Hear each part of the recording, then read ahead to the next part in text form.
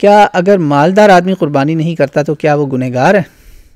देखें जान बूझ के जो कुर्बानी छोड़ता है बिला वजह तो अल्लाह जानता है हो सकता है वो गुनहगार हो, क्योंकि अल्लाह की निशानी है। क्यों नहीं कर रहा भाई? क्या वजह? है क्या वजह क्या है? उसको अपना खुद मुहासबा करना चाहिए कि वो मालदार होते हुए भी नहीं कर रहा, करवा भी नहीं रहा, किसी को भी नहीं दे रहा कि यार मेरी जगह तुम कुर्बानी कर दो तो ये तो क्वेश्चनेबल बात है।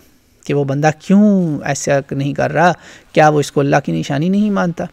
तो इसमें कई सवाल उठते हैं।